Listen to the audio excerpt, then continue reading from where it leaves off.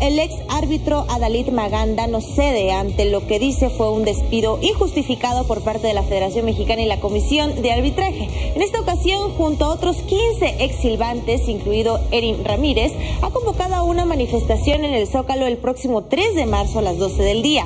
Maganda ha acusado racismo desde hace años, aunque Arturo Bricio siempre ha mantenido su postura que lo apartaron por bajo rendimiento. Nunca me corregían de que si yo hacía algo mal, nunca, oye, Jalí, estás corriendo mal aquí, y ya, y a los otros compañeros de que sí pasaban, oye, hazlo así, así, nunca. Digo, wow, digo, ¿por qué ese trato y, de que no es igual?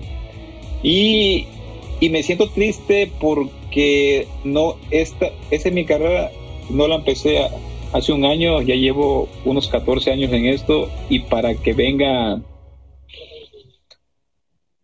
una persona racista, yo creo de que, que no se vale.